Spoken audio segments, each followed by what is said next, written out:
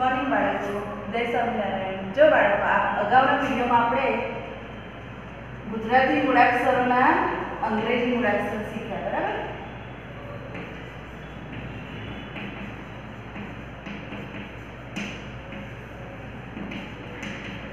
અંગ્રેજી મૂળાક્ષર. દાખલા તરીકે ગ. તો ગ ગનો શું શીખ્યા? જીએ ત. તો ગનો પીએ હવે આજે આપણે સાદા નામ બનાવતા શીખીશું. જો બાળકો, ધારો કે સાદું પહેલું નામ છે જ, ય. તો પહેલાં આપણે શું કરવાનું છે? જનો સ્પેલિંગ બનાવવાનો છે જે, એ અને ય. હવે એટલું તમારે નામના સ્પેલિંગ બનાવતા પહેલાં યાદ રાખવાનું કે નામનો છેલ્લો અક્ષર હંમેશા ફોડો હોય છે, એટલે એ લાગતો નથી. અને પહેલો અક્ષર હંમેશા કેપિટલ લખવો પડે. તો જ જય નામ છે એટલે એમાં પહેલો જનો જે એ થશે વત્તા યનો ભય. એટલે આખો સ્પેલિંગ શું બનશે? જે, એ, ભય. જો જનો જે એનો જ વત્તા ય વયનો ય, બરાબર? જય જે, એ વાય જય એવી જ રીતે નમન. નમનનો સ્પેલિંગ ન, વત્તા મ, વત્તા ન. બરાબર? નમન. પહેલા અક્ષર હંમેશા યાદ રાખવાનું કે નામનો પહેલો અક્ષર કેપિટલ આવે એટલે કે પહેલી એબીસીડી નો આવે. જો નનો એન એ વત્તા મ નો એમ એ વત્તા ન નો જો છેલ્લો અક્ષર હંમેશા ખોડો હોય, એને કોઈ સ્વર લાગેલો હોતો નથી. એટલે એને ન નો શું લખી દેવાનો? ખાલી એન લખી દેવાનો. એ લગાવવાનો નહીં. એટલે નમનનો સ્પેલિંગ શું બનશે? N A M A N જો પહેલો અક્ષર જ કેપિટલ હશે. બીજે ક્યાંય વચ્ચે કોઈ પણ અક્ષર પહેલી એબીસીડીનો લેવાનો નથી. નામનો હંમેશા પહેલો અક્ષર કેપિટલ આવે અને છેલ્લા અક્ષરને કોઈ સ્વર ના હોવાથી ખોડો હોય છે એટલે એને એ લાગતો નથી. અહીંયા આપણે નને ન મ, ન, આ છેલ્લા અક્ષરને ન ને એ લગાવીએ, તો શું બની જાય? નમના. નમના નામ સ્પેલિંગ બની જાય. બરાબર? નમન છે એટલે ખાલી એન એકલો લગાવવાનો છે. બીજો જોઈએ સ્પેલિંગ તનય. જો, તનય માટે તનો ટી એ પહેલો અક્ષર કેપિટલ વત્તા ન નો એન વત્તા ય નો વાય તો એનું સ્પેલિંગ શું બનશે? T A N A Y Tanay, બરાબર? આ રીતે તમારે બધા સ્પેલિંગ કરવાના છે. હવે જો, આજે આપણે નામના સ્પેલિંગ શીખીશું. યુનિટ તેત્રીસ. પાન નંબર વીસ. જો, પહેલું નામ છે જગત. જગત. તો પહેલાં આપણે જ નો સ્પેલિંગ લખીશું. આવી રીતે ફોર લાઈનમાં જે, એ. બરાબર? પછી ગનો લખીશું. ગનો શું બને? જી, એ. અને ત હંમેશા નામનો અક્ષર છેલ્લો ખોડો હોય. એટલે એને ખાલી એ નહીં લગાવવાનો, ખાલી ટી. જે એ જી એ ટી જગત. નવલ. ન નો પહેલો અક્ષર લખીશું. એને વનો વી એ અને લ ખોડો છે એટલે ખાલી એન એટલો નવલ. N A V A N હવે ક નખનો સ્પેલિંગ લખીશું. જો ક નો શું થશે? કે એ ન નો એન એ અને ફરી ક આવ્યો તો ફક્ત કે. તપન. તનો. પી એ. પનો. P A. અને નનો. N. T A, P A, N. Tapan. હવે છે જનક, જો.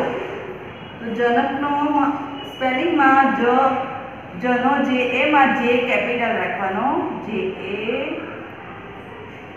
એન એ કે જે એ એન એ કે જનક.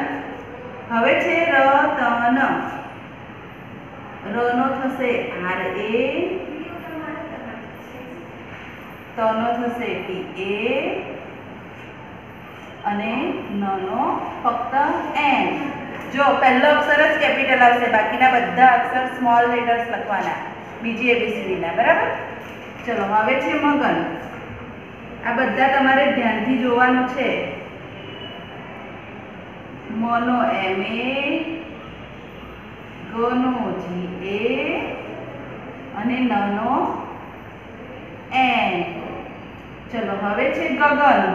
જો બે વાર ગ છે. તો પહેલા ગનો, જી એ, બીજા ગનો, જી એ, અને છેલ્લે એમ ખોળો છે, એટલે ખાલી એમ ચલો, હવે છે રમણ રમણનો સ્પેલિંગ જો. તો રનો આર કેપિટલ લખવાનો, એ બીજી એબીસીડીનો લખવાનો. ર, આર, એ, મ એમ એ અને અણનો શું થાય? એમ Raman R M A N Raman હવે છે પવન. તો પનો પી એ તમારે તમારી અંગ્રેજી નોટમાં આ રીતે જ લખવાનું છે. ફોર લાઇનની નોટમાં. વી વનો વી એ અને નનો N P A P A N પવન. હવે છે ભગત, જો. કેટલાક મૂળાક્ષરો એવા છે ગુજરાતીના જેના સ્પેલિંગ આપણે તૈયાર કરવા પડે. જો ભનો શું થાય? બી એચ એ પછી બી, એ લખીએ ને તો બનો થઈ જાય સ્પેલિંગ એટલે ભનો બી એચ એ ફરી ગ આવ્યો જો. ગનો જી, એ. અને તનો ટી. ભગત. હવે ફરી ભ આવ્યો જો. ભરત. ભરતનો સ્પેલિંગ તો ફરી ભરતનો સ્પેલિંગમાં બનો બી એચ એ રનો આર એ અને તનો T Bharat B H A R A T Bharat. હવે છે નયન. નયનનો સ્પેલિંગ. તો પહેલાં ન નો લખવાનો એને યનો લખવાનો વાય એ જો વાય નીચે અડે છે, બીજી એબીસીડીનો આ રીતે તમારે તમારી અંગ્રેજી નોટમાં લખવાનું છે. ભાઈ એ અને નનો ફક્ત N. N A Y A N. Nayan. હવે છે હસન. જો હનો સ્પેલિંગ શું થશે? એચ.